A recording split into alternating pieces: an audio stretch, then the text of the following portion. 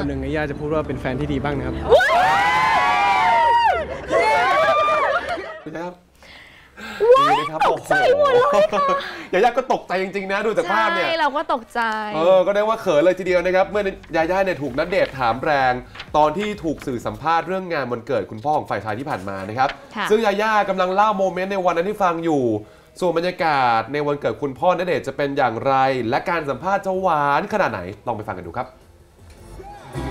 ก็พาคุณพ่อไปกินข้าว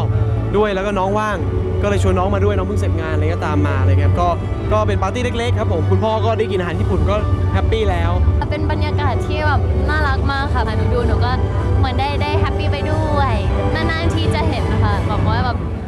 ลูกที่อายุเท่านี้แต่ว่ายังแบบว่า give ร้อยเปอร์เซ็นต์มากๆกับครอบครัวค่ะมันเป็นสิ่งที่น่ายิพี่นก็ดีได้จะหวังมาว่ากวันหนึ่งไอ้ย่าจะพูดว่าเป็นแฟนที่ดีบ้างนะครับยังไงดียังไงดีๆโอ้ยดีที่ สุดในโลกอยู่แล้วค่ะ ถ้าจะเรียกสะพายให้ไปขอคุณแม่ก่อนน้องก็คงแซวเล่นด้วยด้วยตามอินเทอร์วิวแหละครับ แต่ว่าถ้าถ้าเอ่อมันมีเหตุการณ์หรือว่าถึงเวลาอย่างนั้นจริง ๆ มันก็คงต้องเป็นไปตามความเอ่ออ่อนน้อมถ่อมตนของของเราด้วยอะไรอย่างนี้ด้วยมันเป็นการเข้าหาผู้ใหญ่เรียกว่าเป็นมารยาทนะฮะก็ต้องต้องเป็นสิ่งที่เราต้องทำอยู่แล้ว